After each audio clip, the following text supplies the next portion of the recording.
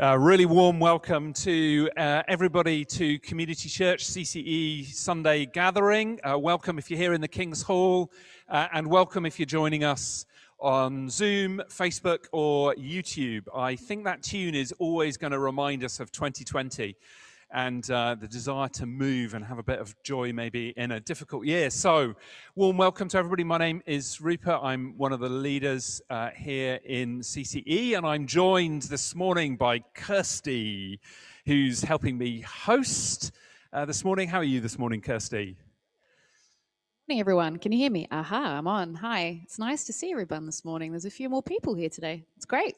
Yeah. Good to see you all here. And I'm also joined by um, Bella, who's going to be speaking this morning. Bella, do you want to just tell us what you're um, just going to be sharing about a little bit later on? Yeah, we'll be thinking um, about Paul and thankfulness, which is quite timely because it's Thanksgiving in the States next, uh, yeah. next week. So, thankfulness and how we can practice this is going to be our topic today very much looking forward to that. Um, so, Kirsty, do you do do you do Thanksgiving down in Australia at all, or is that not really? No. No.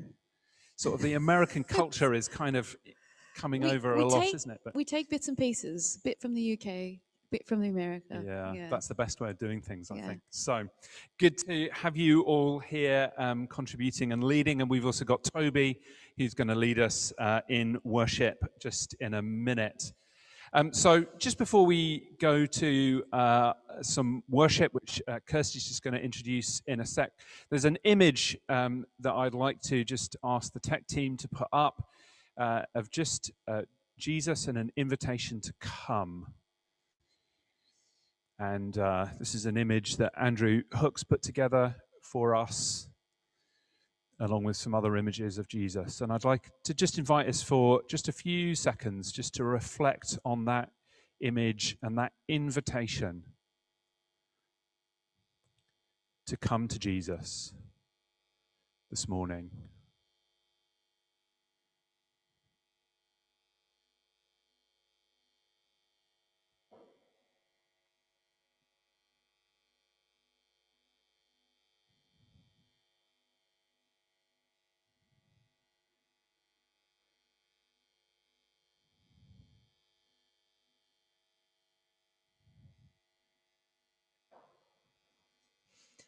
So the scripture does say, Come to me, all you who are heavy laden, and I will give you rest. So as we enter into this time together, we're, we're praying for rest, Lord Jesus, as we call all your saints together. Because worship is the strategy by which we interrupt our preoccupation with ourselves and attend to the presence of God. So let's forget about our weeks or lift up those things to you, Lord Jesus, today as we praise you with thanksgiving. And I'm just going to read the psalm. No, actually, I think that's for us to read together, Lord. So I just uh, thank you for our musicians today, Lord Jesus, um, as we praise you and. Uh, Feel free to shout at home because you can do that. And feel free to clap and dance if you are here today with us. Thank you, Lord. So over to you, Toby.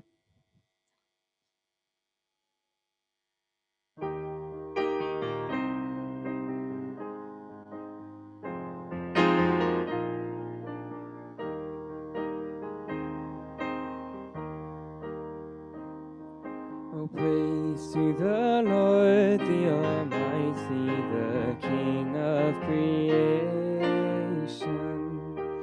Oh, my soul, praise Him, for He is thy health and salvation.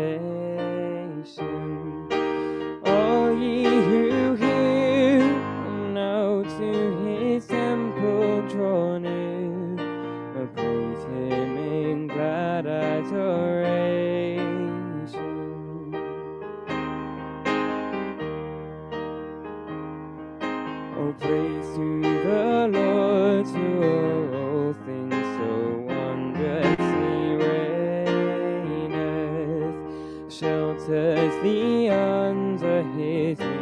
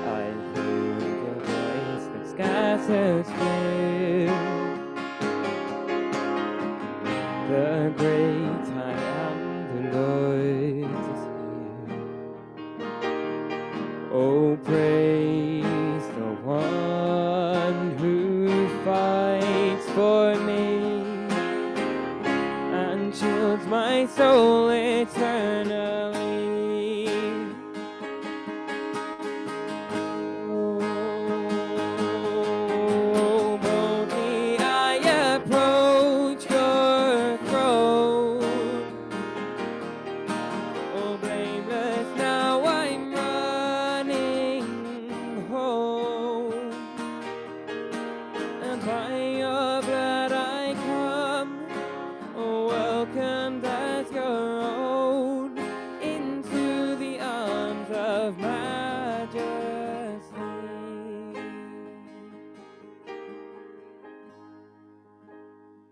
And behold the bright and risen sun.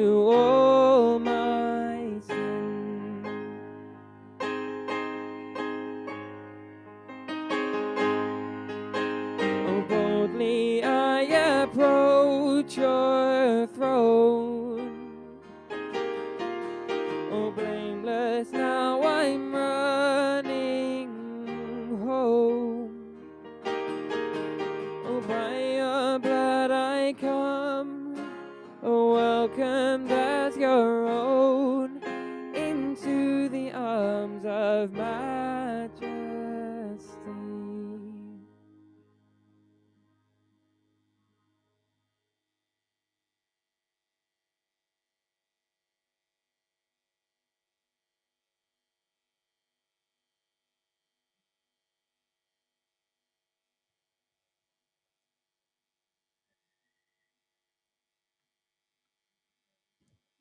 That was, uh, thank you, Toby. That was really beautiful. Um, very struck by the line boldly do we approach the throne.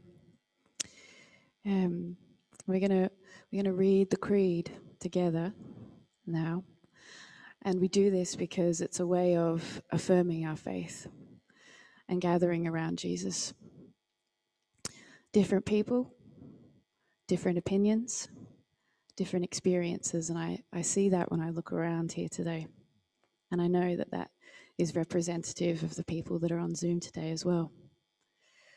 We are curious about Jesus. We want to know him. We desire to know him. And what's beautiful is that he desires to know us. So we're going to affirm our faith by reciting this creed together. And we tell stories of Jesus as we gather. So let's say this together. I believe in God, the Father, Father Almighty, creator of heaven and earth. I believe in Jesus Christ, his only Son, our Lord, who was conceived by the Holy Spirit, born of the Virgin Mary, suffered under Pontius Pilate, was crucified, died, and was buried. He descended to the dead. On the third day, he rose again. He ascended into heaven. He is seated at the right hand of the Father, and he will come to judge the living and the dead. I believe in the Holy Spirit, the Holy Catholic Church, the communion of saints, the forgiveness of sins, the resurrection of the body, and the life everlasting. Amen. Thank you, Lord.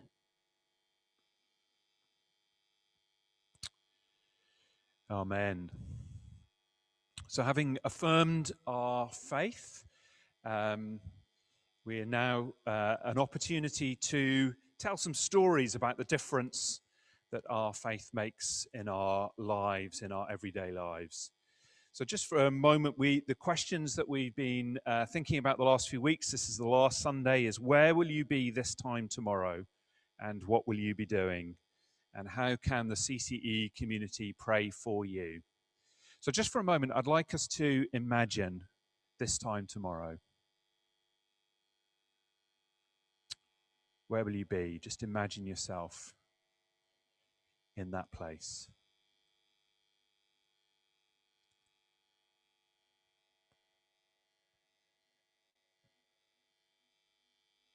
And then I'd like to I'd like to invite you to imagine Jesus is there with you. Where is he?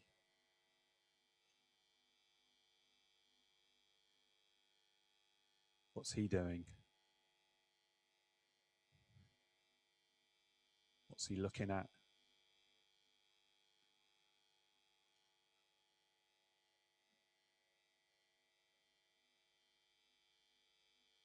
Where's his focus?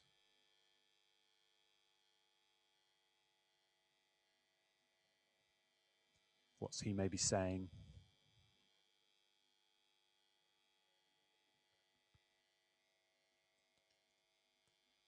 Just being told I can't can't be heard by somebody here, so I'll speak up a little bit more. So it's an opportunity now just for us to um, share a few things uh, of uh, what you will be doing tomorrow. So if you're here in the King's Hall, you can come up Uh, to uh, that microphone just there. Uh, if you're on Zoom, we can also get you uh, to say something on Zoom this morning as well. So if you want to say something, please just uh, put something in chat uh, and we can get your picture up and hear you on Zoom. So, this time tomorrow, where will you be and what will you be doing and how can we pray?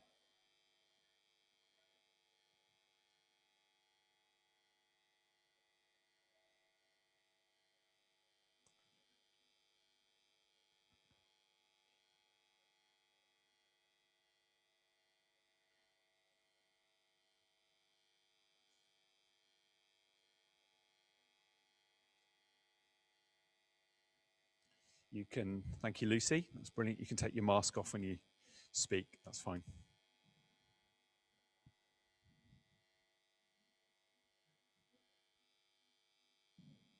Think, oh, okay, yeah, no, it is. Um, oh, yeah. So this time tomorrow, I will be in New College. Um, I'll be watching a lecture about the prophet Daniel, um, which I'm quite excited about. Um, and I think I would just really love prayer for, um, I think, I guess, my faith while studying theology, because I do love it, but um, especially when we do biblical studies and we've been looking at the prophets this term, um, there have been lots of things that have been really challenging. Like the prophets are not lightweight, there's a lot of really tough stuff in there. And when we speak about it, um, I like to think that there's always some kind of interpretation that makes it more comfortable and it's that's not always the case, and I have really found that quite difficult. So, yeah, I just I'd love prayer that um, the difficulties that I find while I study don't get in the way of the God that I know and love. Brilliant. Thank you, Lucy. we have something on uh, Zoom from Chris, who says tomorrow. Uh, he will be sitting at his desk working from home and he sees Jesus standing quietly a couple of steps back waiting that I might turn for a moment and acknowledge him. And the prayer is that he that uh, Chris might remember him uh, in the moment. Uh, tomorrow, this time tomorrow, I will be uh, at uh, a Christian outdoor um, center, and uh, there's a few people doing a discipleship year, and I'm doing some training with them around grace, identity, and Jesus. So, you know, nice small subjects uh, there. So I would, uh, and as I was just reflecting, I was seeing Jesus um, not facing me, but facing all these uh, young people who'd rather be on the hills uh, or canoeing, but they're actually listening to me. But he just has a desire to just minister to them uh, and help them in his journey, uh, in their journey towards him. So I would appreciate prayer tomorrow. Anyone else? It would be great to hear from you. We could, one or two other people. Is there anyone else that would like to share? If you're on Zoom or here.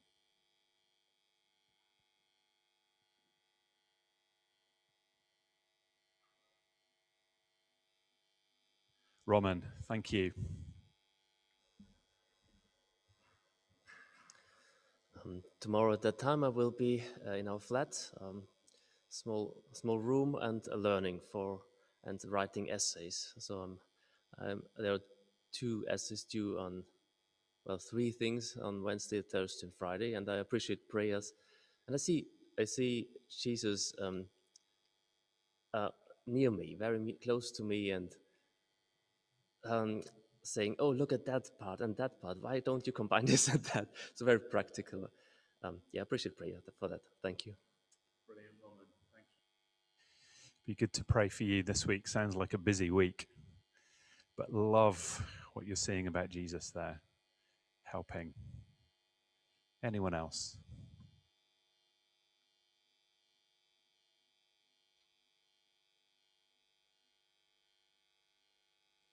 Kathy.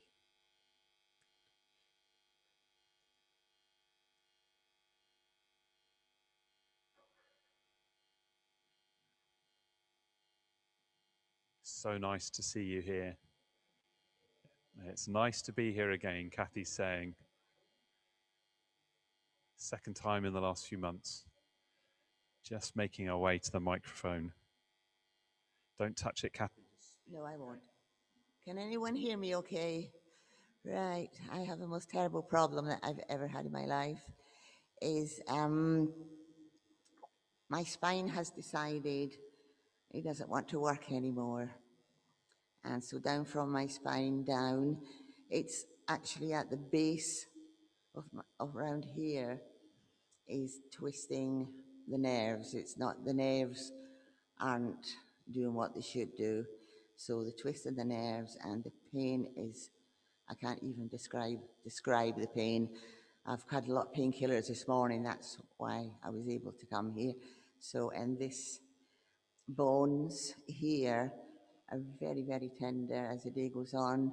It gets worse. I, really can't bear to wear even underwear. It's so tender and the bones hurt and the muscles and the joints are sort of twisted round so the out the outcome of that is um, if they can't do anything is that my body will start to turn this way. I have noticed a few months ago and wearing jeans or anything, I always felt like this leg was wrong and I thought maybe they'd made it wrong until I realized the hip round here isn't, my body isn't straight anymore. I can't stand up straight. it's quite difficult. And I find this awful because I'm a very physical person and I have to dance and sing. Whenever I hear music, I'm just, I'm just gone. I don't even know where I am. I just, I just go and I, I don't know if I'll ever be able to do that again. So I, I, I pray a lot, but um, it's very, it's very, very difficult. And my body's, I don't know if anyone's noticed, but my body started doing this um, with the nerve, the nerves jumping because I don't think the nerves know what to do anymore. So there's my breathing and my heart on, on top of on top of that.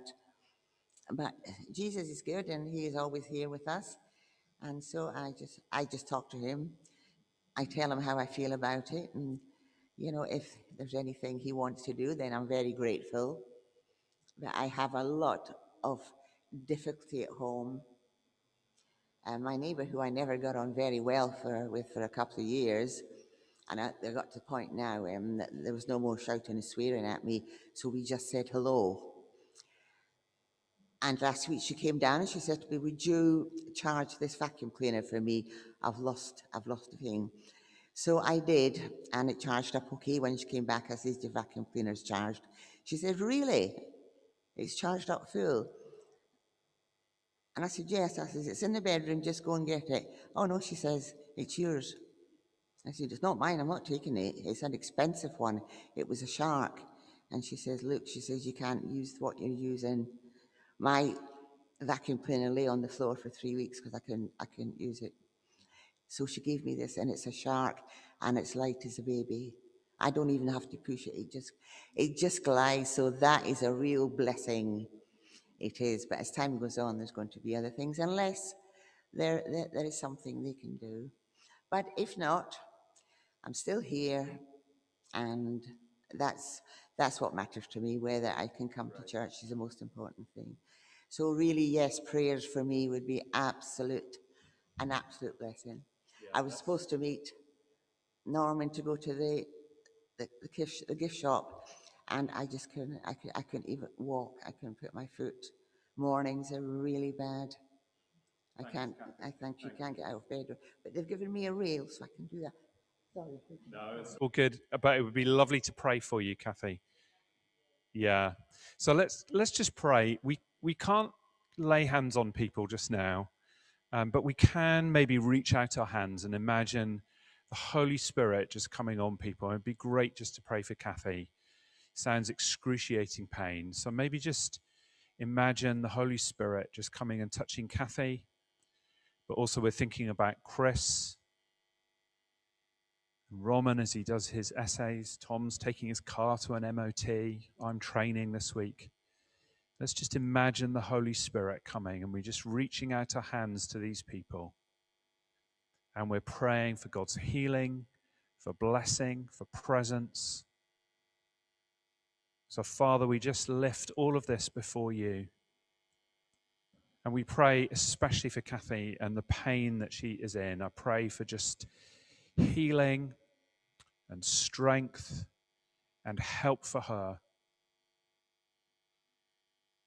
And for each of us this time tomorrow in our daily lives, maybe in our work, as a parent at home, in our retirement, whatever it is that we're doing.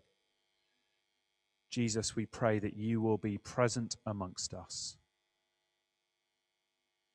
and that we would turn and acknowledge and see your presence this time tomorrow. Amen. Amen. Thank you, everyone, uh, for that. Um, just one or two bits of uh, news and uh, information, which I think will come up uh, on the slides. If you're uh, joining us on Zoom or Facebook, YouTube, and you're new or interested in finding out a bit more about uh, the CCE community, uh, then we would love to stay in touch with you uh, and tell you some of the news and things that are going on and ways in which you can get involved. Um, there's uh, lots of information on our website. Uh, and you can also, if you're interested in finding out a bit more uh, and getting involved, if you send an email to office at cce.community, uh, and we would love to uh, let you know how you can get involved in a small group or in other ways. Uh, in our church community. We have an app called Church Suite, which we can get you signed up for, uh, which has a calendar and various other things of just staying in touch. Or you can follow us on Facebook uh, or Instagram. There's lots of information that goes up there. Uh, so that's the first thing. If we could have the next slide, please. Um, so this year, uh, on our Christmas service, which is going to be the 20th of December uh, this year, um, we normally take up an offering. Um, which we give away to some uh, project or organization uh, that is helping people that are more vulnerable in um, our society or overseas, depending on what is going on. This year, um, we want to do something in advance of the 20th, and that's partnering with the local Salvation Army that's just down the road here. Uh, and they are distributing presents that are referred to them by social work or other um, agencies where um, children may not get any presents on Christmas uh, Day. And so they're distributing, I think, to around 300 families in the south of Edinburgh. Uh, and there are three ways in which we can give or contribute to this uh, Christmas appeal uh, this year. Uh, instead of the offering as our Christmas service, you can either um, uh, there is a, a link uh, on our uh, website or in the newsletter last Friday to an Amazon wish list, and you just purchase uh, the present and it gets delivered to the Salvation Army directly. So that's one way. Uh, if you don't wish to use Amazon and you'd like to use a more local retailer, um, um, big up for all the local uh, retailers. Uh, then you can buy a present and you can drop it off at the King's Hall, and we will arrange uh, to uh, make sure all the presents go uh, down to the Salvation Army uh, in time. So you could bring it next Sunday, is the deadline for that. Um, so if you can bring it next Sunday or during the week and just liaise with either Inka or Andrew if you want to drop it off to make sure somebody's here. Um, or the third way is you can give some money to CCE, which we will collate and gather, uh, and then again send on to uh, the Salvation Army. So the deadline for a physical present, it needs to be new and unwrapped uh, is next Sunday, and the Amazon wish list uh, or money is uh, a week on Friday. That's the 4th of December. And it would be great. They're so excited, Salvation Army, that we're um, getting involved and helping them uh, with this appeal. I think they were a bit worried that they wouldn't get anything, um, but they've uh, uh, just excited that we're able to partner with them this year. Um, the next few Sundays you can book in. There's generally space if you want to uh, book up at the last minute. We're asking folks just to uh, sign up to one in advance. Uh, and then if there are spaces on the Friday in the newsletter, it comes out. Um, if there's spaces and you can uh, book in, please don't just turn up on the door. Uh, and that takes us up to the 13th of December, and we'll let you know uh, what the plan is on the 20th. We're just uh, still trying to make some decisions uh, about how we do the Christmas service. Uh, and then just a quick uh, thing around Christmas trees was mentioned last week. You can purchase, uh, they're on ChurchSuite or the website or the newsletter. Justin's providing some Christmas trees. Uh, and Naomi is looking for some ideas for growth groups starting uh, in January. So if you're interested in running a short term, uh, small group with a particular focus or vision, uh, and there's been some excellent ones over the six to nine months, um, last six to nine months. Um, so we're looking for some other ones that will start kind of next term, as it were. Um, and uh, if you've got an idea, please speak to Naomi. Excellent. And the final thing, if you want to give, um, thank you so much for the faithful giving. Uh, there's a QR code you can scan on your phone, um, or you can just go to cce.community forward slash give, uh, and there are lots of ways in which you can give. If you're here in the King's Hall, there's a box at the back. Okay, I think it's now time for the children to go here. Kirsty's going to take you out, and uh, Bella's going to come and speak. Kirsty's going to come and pray for Bella in a sec. We're just going to get ourselves sorted out up here.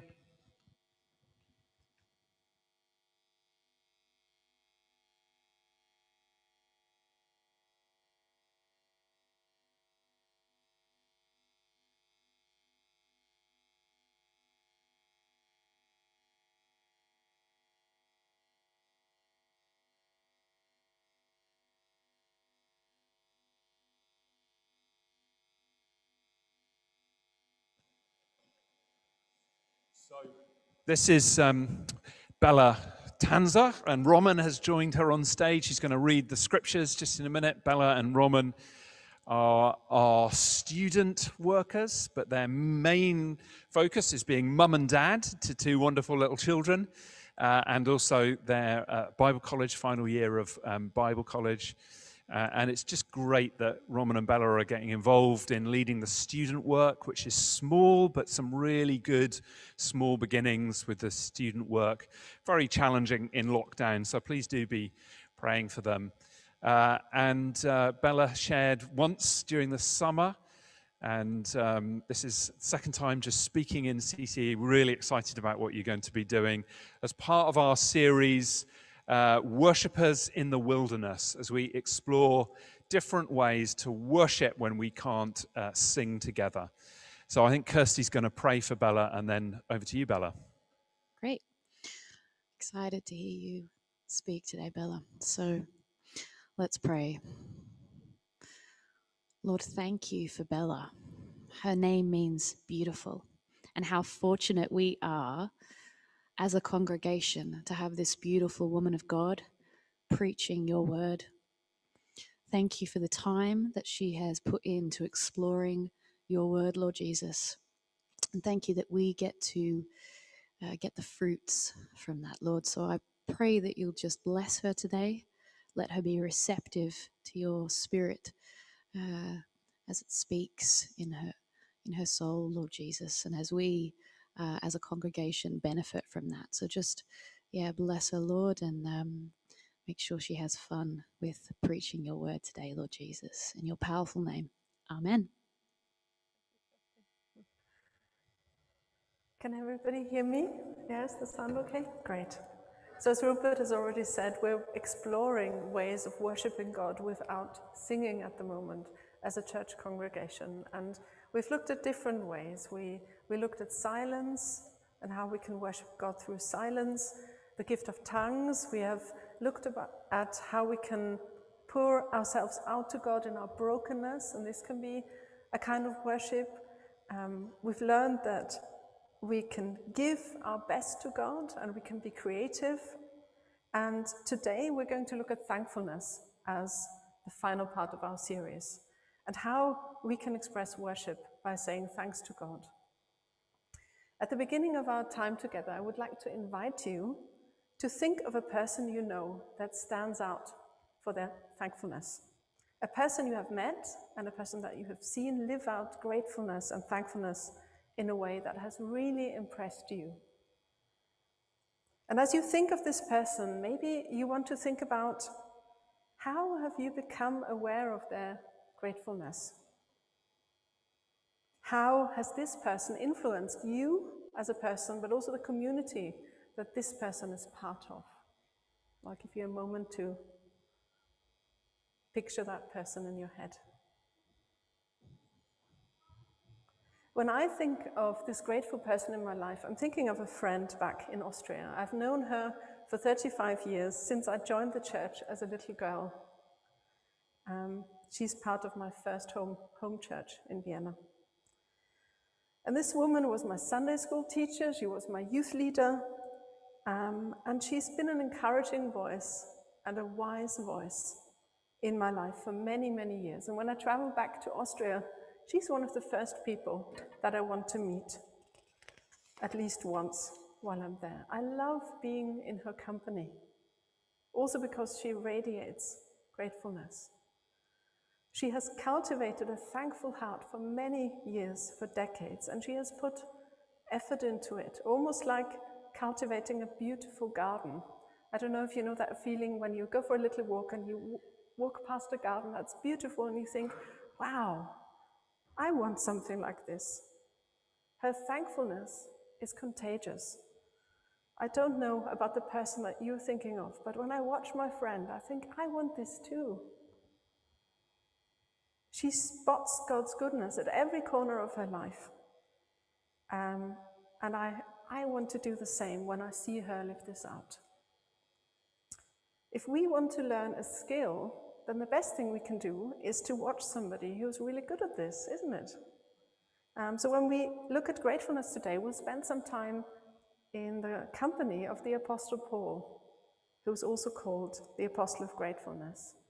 How do we do, how, how do we know that Paul was a grateful person? Um, well, first, he wrote about gratefulness in his letters to various churches and to individuals many, many times. Altogether, gratefulness is mentioned 49 times in connection with the life of Paul in the book of Acts and in his various letters. Paul lives and breathes thankfulness. He's thankful for many things for other Christians, for their faith, their support, and their provision in his life. But above all, he is grateful for Christ's role in his life. He's eternally grateful to Jesus. And this is especially wonderful because he used to be an enemy of Jesus. He used to be a persecutor of the Christian church. But then he had a personal encounter on the road to Damascus. And his life was completely turned around. And he dedicated the remainder of his life to following Jesus and to telling everyone about him that would want to hear. Our passage today that Roman is going to read in a moment is from Paul's letter to the Colossian church. This was a church in Asia Minor in present day Turkey. Thankfulness is one of the important themes that comes up in this letter, and especially in chapter 3 that we're going to look at. Paul reminds the Colossians here that they have a new life in Christ.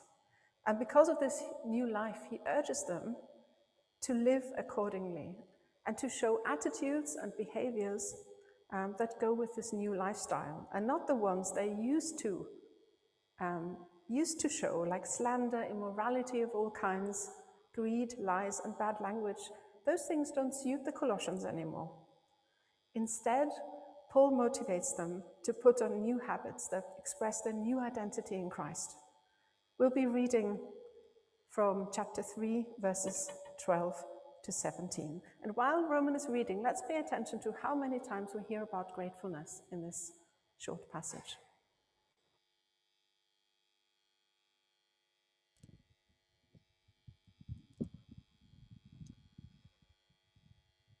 Colossians, Colossians 3 um, 12 to 17. So, as those who have been chosen of God, holy and beloved, put on a heart of compassion kindness, humility, gentleness, and patience, bearing with one another and forgiving each other. Whoever has a complaint against anyone, just as the Lord forgave you, so also should you. Beyond all these things, put on love, which is the perfect bond of unity. Let the peace of Christ rule in your hearts, to which indeed you were called in one body, and be thankful. Let the word of Christ richly dwell within you. With all wisdom, teaching and admonishing one another with psalms and hymns and spiritual songs, singing with thankfulness in your hearts to God. Whatever you do in word or deed, do all in the name of the Lord Jesus, giving thanks through him to God the Father.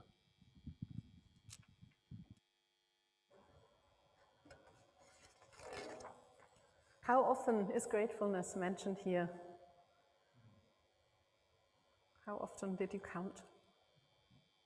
It's three times, um, three times in, in only five verses, and I think this should show us how important it is to Paul. Um, and I want to invite you to look at three simple truths with me today that emerge from this passage. Firstly, thankfulness enjoys company. Secondly, thankfulness is a heart matter. And thirdly, thankfulness is a lifestyle. So we'll briefly look at these three points together.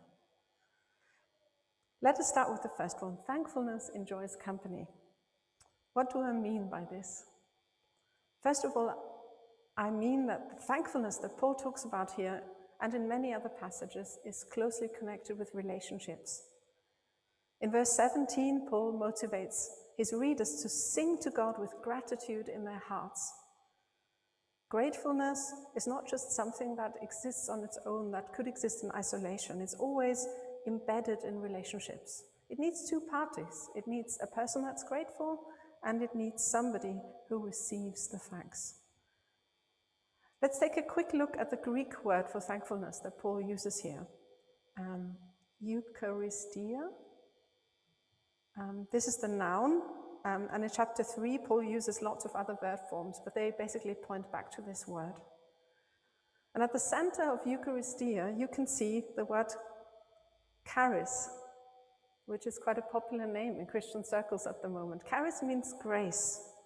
So thankfulness is really about God's grace. It's about our acknowledging His grace in our lives. It means that we see the blessings that we have not earned. It means that we see what has been freely given to us and that we acknowledge this. To Paul, it seems the most natural thing to express his thankfulness. It's not something that he keeps to himself in quiet contemplation. And yes, gratefulness is an attitude, but it's more than this. Gratefulness is always closely connected with worship, with thanksgiving. His gratitude and his worship go hand in hand. They cannot be separated. And in fact, this word, this Greek word, Eucharistia, does not distinguish between being grateful and thanksgiving, they're the same thing. I found that really fascinating when I was looking at the interlinear translation. So, how do we know that Paul was thankful? We talked about this before. He expresses it 49 times. And one of my favorite accounts in the life of the Apostle Paul is in Acts chapter 27, when Paul and 275 other prisoners are on their way to Rome and they get shipwrecked off the coast of Malta. The passengers are gripped by fear, and no wonder they are because they've been in turmoil for 14 days. They haven't eaten, the Bible is saying. They're weak and they're anxious. And what does Paul do? He urges them to eat. He knows that God is going to rescue the people in the ship because God has spoken to him about it. But what does he do? He thanks God. He breaks bread, he thanks God for it, and then he eats with the people that are present. Even in the face of great difficulty, Paul remembers that thanking God is a really important thing. And he doesn't keep it to himself, he expresses it in front of everyone present.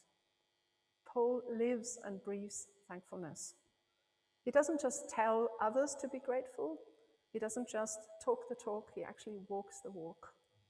And he continually expresses his own gratitude to others and above all to God. Thankfulness enjoys company.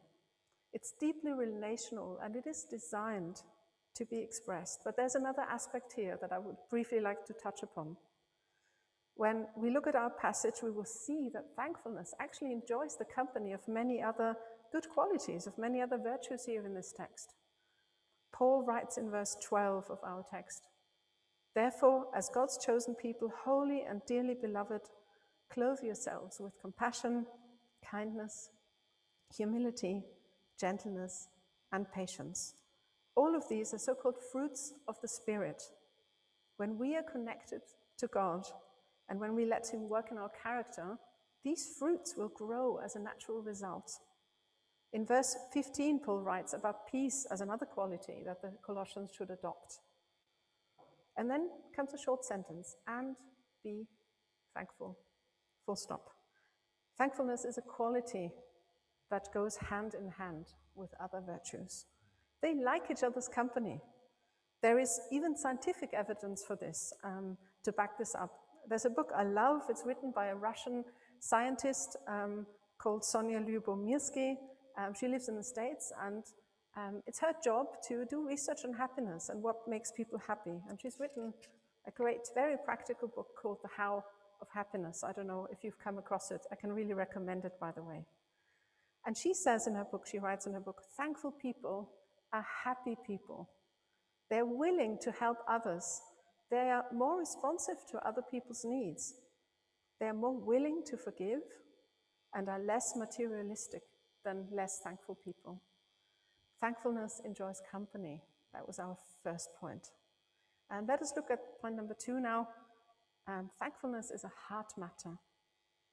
We've read in verse 15 let the message of Christ dwell, dwell in you richly as you teach and admonish one another with all wisdom through psalms, hymns, and songs from the Spirit, singing to God with gratitude in your hearts. We are supposed to thank God, but what does with gratitude in your hearts mean? It obviously mean that, means that our thanksgiving, our worship to God, must come from a genuine place of devotion for God.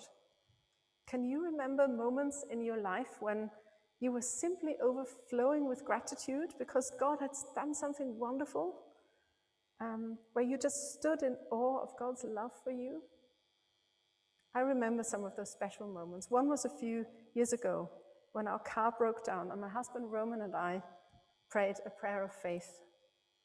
Lord, we prayed, we need a new car. We don't have any money to to pay for it, but we need one. And um, please give us a car and please let it be a seven seater so that we can also serve other people and give them lifts and help them move house. So it was a very specific prayer that we prayed. Um, the next day, you won't believe it, I got a text from a friend. Nobody knew about our prayer apart from God and the two of us. Bella, we're getting rid of our car. wanted to scrap it, but you kept coming to our mind. Do you need one? What amazed me the most was that the car had seven seats, and it served us for two years, us and others. We named it Carissa because it was, it's a car, but also because of Charis, this idea of God's grace. Yeah, our cars all have names. Our present car is called Polly, isn't it, Roman? yeah, but Carissa was a, a special gift from God, um, and we knew that it was by His grace that that we could use her. It. so that was one of the many wow moments that I had with God.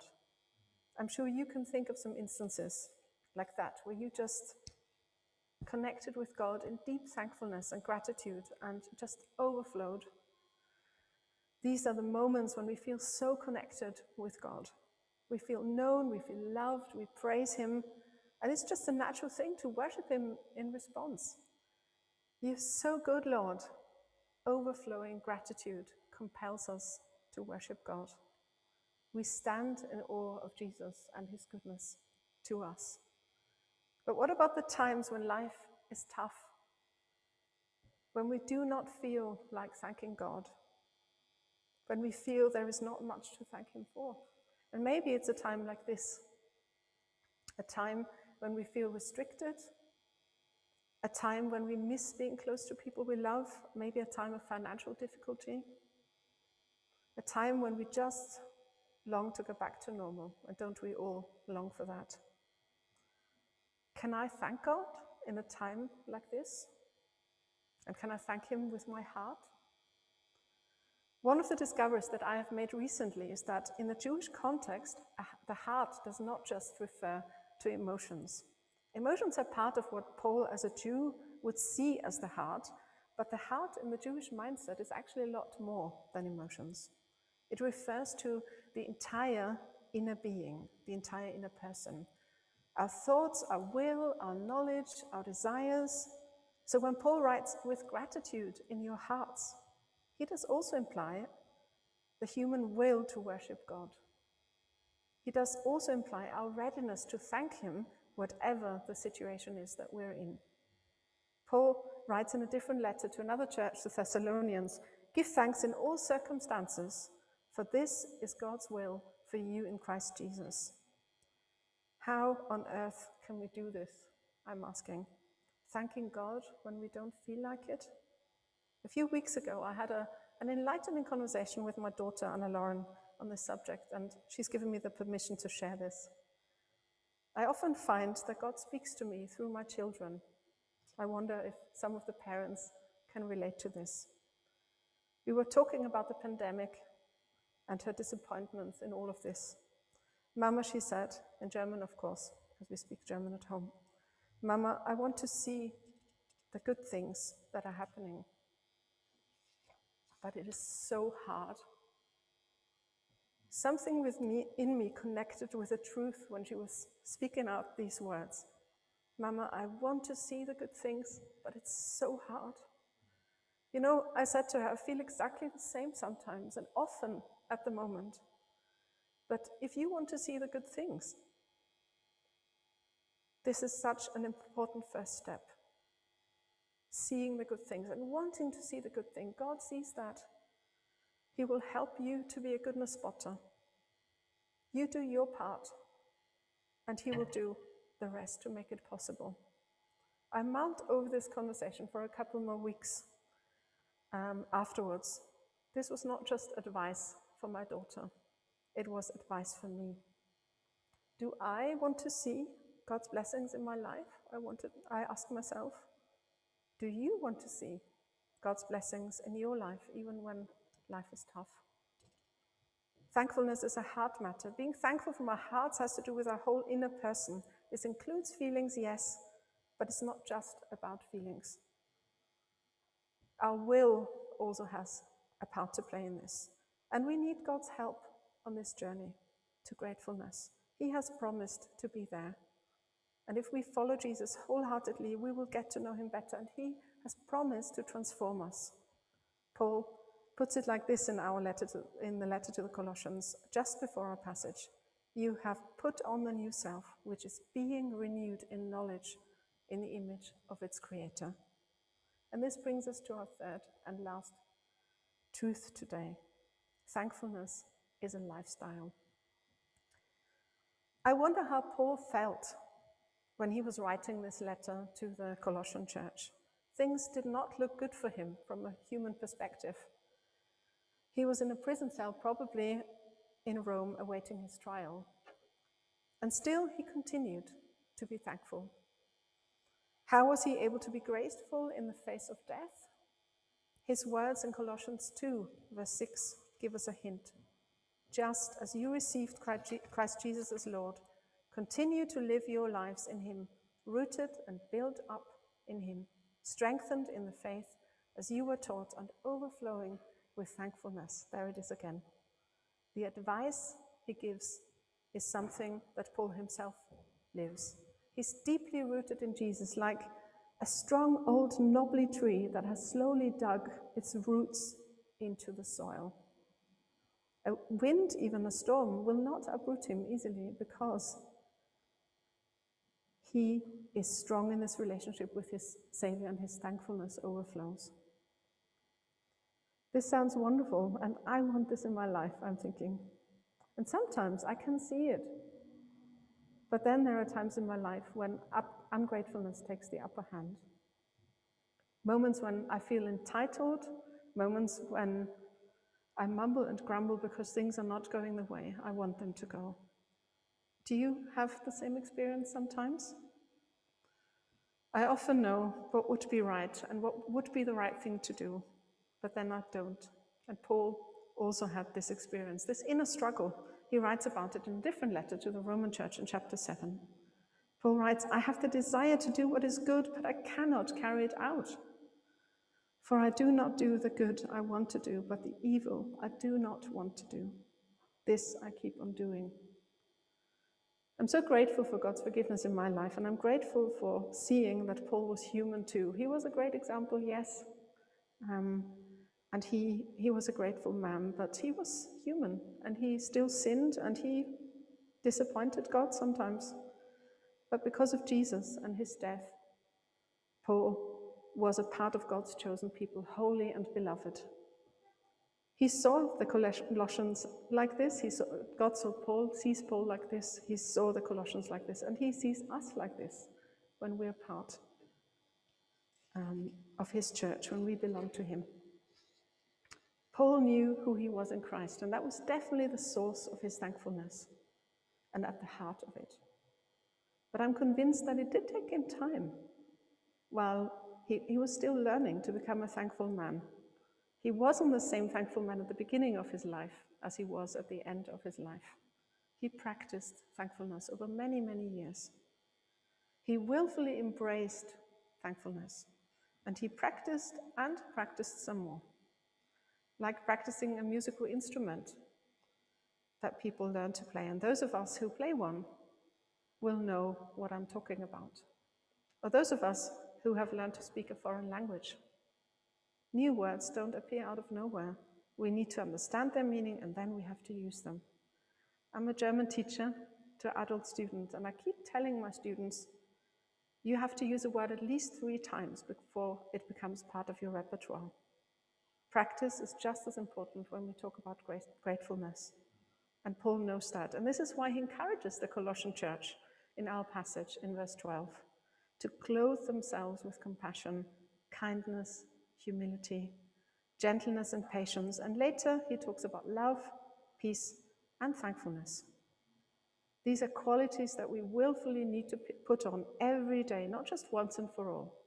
Like a new shirt that we take out of the wardrobe in the morning and put on, and the next day we need a new shirt.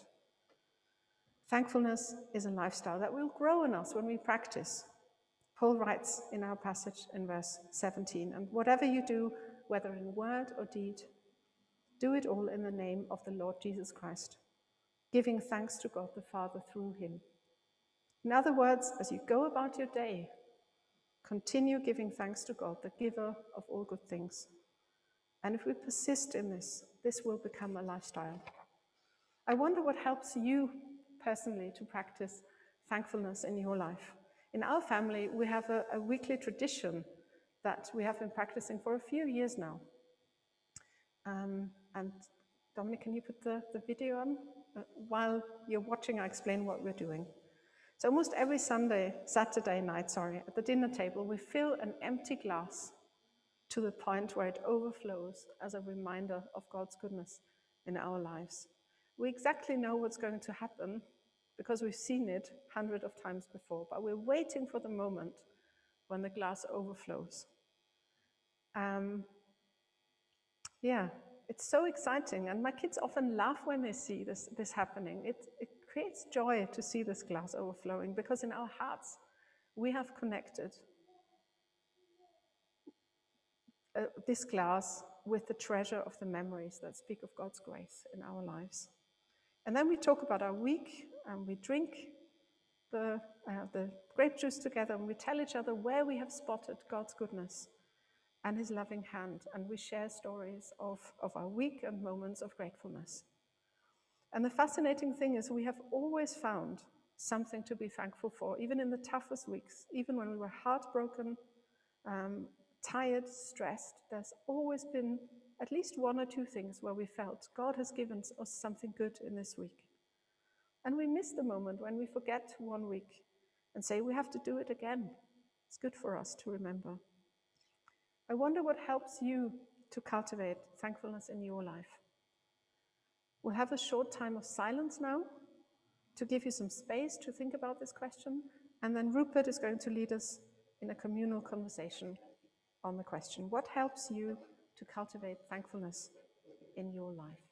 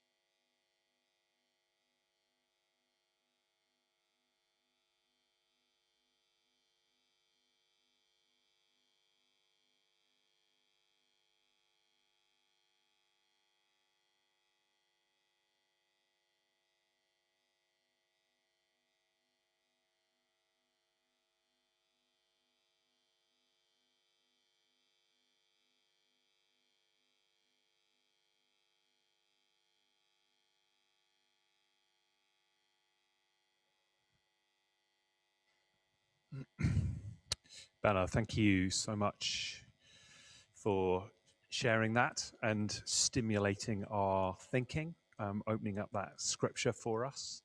So it's just a bit of a chance now for us to do some uh, communal work of just thinking about how practically we might do this. How can we practically cultivate thankfulness um, in our lives? And uh, I, I've really appreciated listening to you, Bella, because this week I've been aware that increasingly I've been frustrated about what I can't do.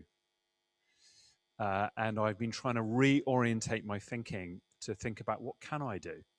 What can I do that I'm allowed to do that brings me life and joy and that I'm grateful for rather than just being frustrated about what I can't do uh, just now. And I think that's what you're offering us is a reorientation about the way that we think about things that's really appropriate for um, this season. So there's a chance in a moment just to come to the microphone if you're here in the King's Hall or um, put something in chat and just say that you'd like to share something. We'd, we'd love to hear from you. Um, and we can get you um, sharing uh, here in the King's Hall and on Zoom. Uh, but if you'd prefer just to write something in chat, you can do that too. Um, Kirsty, I'm wondering if you've got something that you would like to just share with us first while we give everybody else a chance to think if they'd like to. Yeah, I'd love to because I'm going to choose to take the cultivation literally because yesterday uh, we had an impromptu offer of somebody helping to helping us to cultivate our garden and our garden was completely overgrown and it was terrible and there was hardly any light coming in. And um, he's like oh i'll just come back with my tools in an hour. And i got to use this massive big thing to cut our bushes back. And then i thought actually this is something that we're allowed to do. This is something that we can do outdoors together and actually we've been tasked to do um, as stewards of the earth. Um, so I um, kept the secateurs and I'm going to just be trimming away this afternoon and I'm going to really enjoy that. And it, it's something to innocently and purely just enjoy outdoors. Um, yeah, and while I'm doing it, reflect on Bella's awesome sermon. Thanks, Kirsty. Thank you. Love that idea of just cultivating uh, something. I think we've got, um, have we got Barry and Alison? Or is that, no? Yes? Hi, can you hear me? Yes, we can hear you, Alison. um, some people will know that I've been struggling a lot lately with my hip and I've lost a lot of mobility. Um, and I, what I've found in that is that I, I have the urge. I see somebody running, you know, or even walking fast like I used to do. Um, I have the urge to say to them, appreciate that you can do that. I really appreciate it because I can't do that now. Um, and then I've begun to realize you know, I could lose a lot more. I, not that I'm thinking I will, but you know, just thinking it through, I I could completely lose my ability. I could be paralyzed. I could be, you know, other people are in that circumstance. So I began to try and look at, yeah, what I can do. My arms are both still functioning really well. Uh, thank you for that. And um, I'm not saying that I've got that sorted out in any way, but there's just there's nothing like losing something that you've taken for granted to make you begin to to appreciate it. And I think that's what um, I'm learning in this time. Thank you. Excellent. Thank you, Alison. And uh, I think you've been posting one or two things on, on Facebook with a similar kind of thing that's partly also been prompted by someone else who's done, I think, Thankfulness November or something like that every day, just trying to post something on social media about what they've been thankful for in their day. So, Alison, thank you. Is there someone else? Stefan, it looks like you're on the edge of your seat. And then I think Rachel here. Um, Stefan. Well, on the most basic level, every time I take a breath, there's something about, yes, life. So I'm every time I take a breath, there's a feeling of thankfulness. And in a way, with Corona, this makes Corona such a vile thing. Corona uh, is um, so affecting people's breathing. But every time we can take a breath, every time I can take a breath, I feel thankful.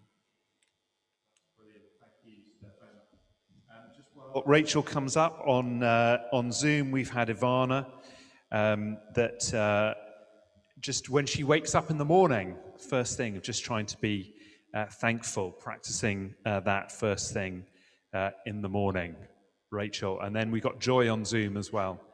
Uh, so I was thinking about this during lockdown, what has changed, and two things came to mind. Um, so I've noticed that me and Dominic are home more often. So simply uh, before meals, we find I, I, find that we're praying more than normal because we wouldn't always be home together.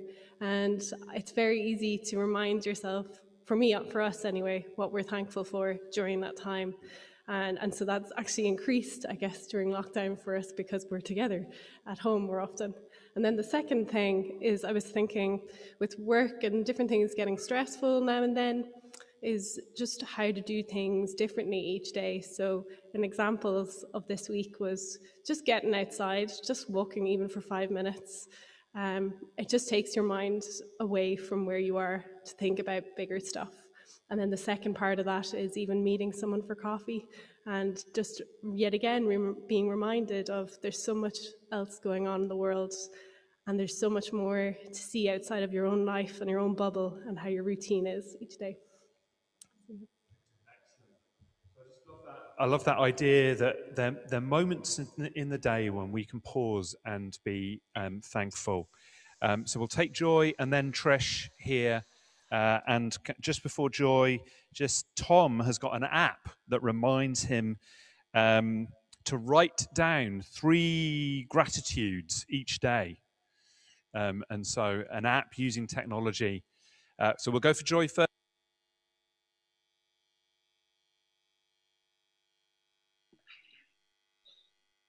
Hi, can you hear me? Give me a give me a wave, Rupert, if you can hear me. Excellent, because I've lost your sound from you.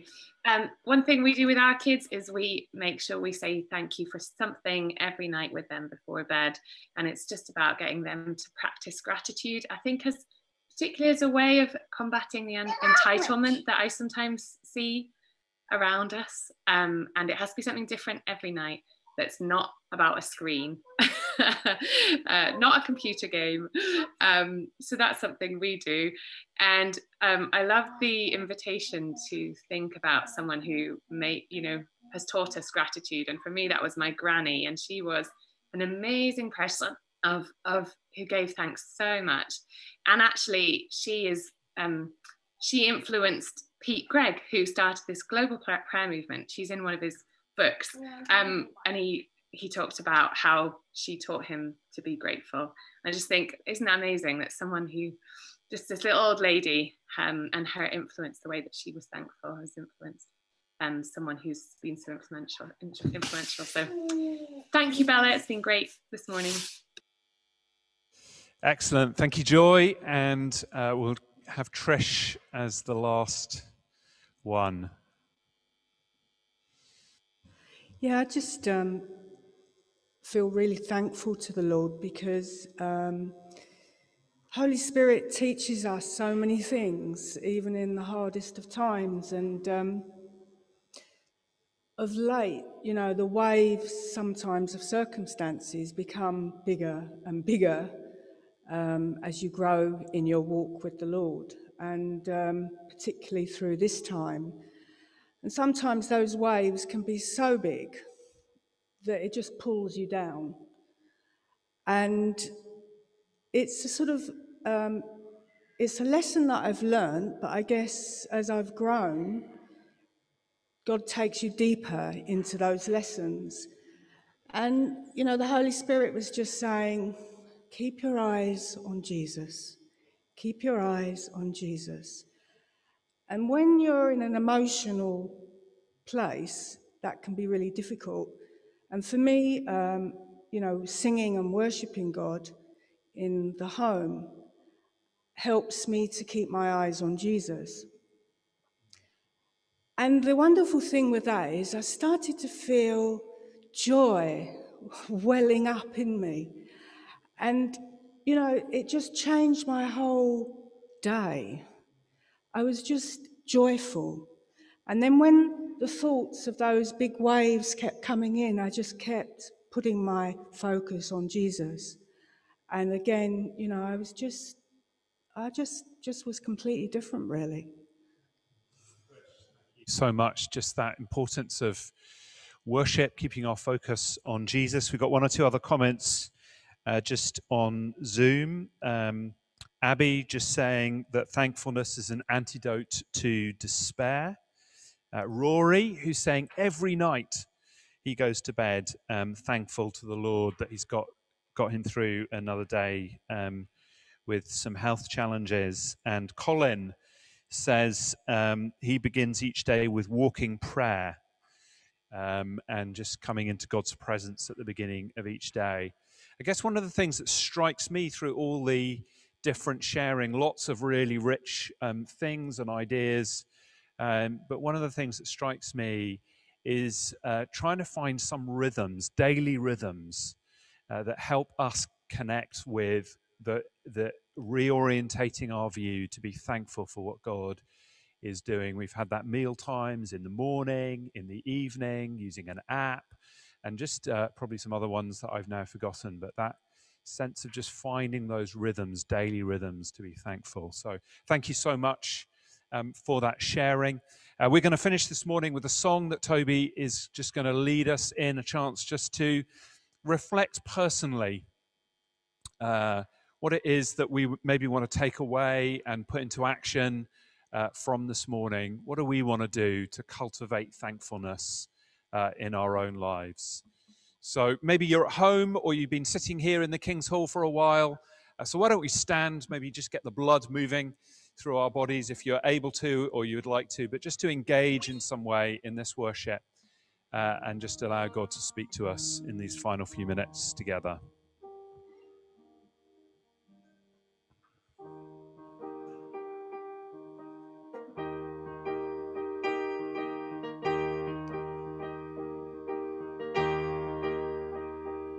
The Lord, oh my soul. Oh, oh, oh my soul. Worship his holy name. Sing like never